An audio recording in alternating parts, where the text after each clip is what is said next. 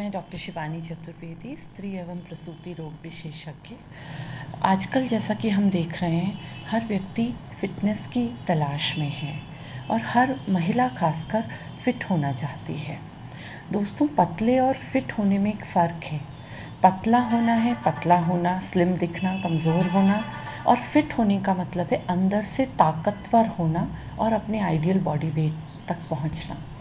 इस डिफरेंस को समझना इसलिए ज़रूरी है कि जब हम इसे समझेंगे तभी सही रास्ता अपनाएँगे।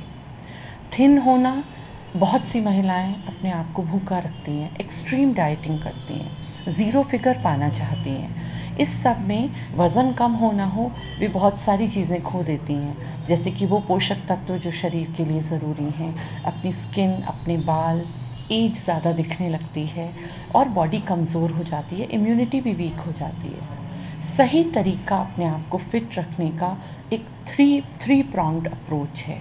नंबर वन आपको एक्सरसाइज करनी है, चाहे योगा हो, चाहे वॉकिंग या जिम में एक्सरसाइज कुछ ना कुछ ऐसा करना है जो आपकी हार्ट रेट को बढ़ाए और आप पसीना पसीना निकलना बहुत ज़रूरी है। नंबर टू आपको सही डाइट लेनी है। एक डिफरेंस है डाइटिंग में और डाइट मैनेजमेंट में। आपको सही डाइट लेनी है, बेहतर हो अगर न्यूट्रिशनिस्ट के हिसाब से लें। हमारे सेंटर पे हर सैटरडे हम पवित्रा सेंटर रन करते हैं, जिसमें एक न्यूट्रिशनिस्ट हमारी पेशेंट्स को एडवाइस देते हैं और डाइट बना के देते हैं। हमेशा याद रखिए, मोटे होने के लिए खाना पड़ता है, लेकिन पतले होने के लिए और भी खाना पड़ता है, और भी ज़्यादा खाना पड़ता है।